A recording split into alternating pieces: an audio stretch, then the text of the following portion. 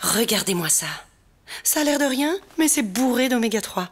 Vous connaissez beaucoup de légumes qui peuvent en dire autant? La mâche? Avec un grand mmm.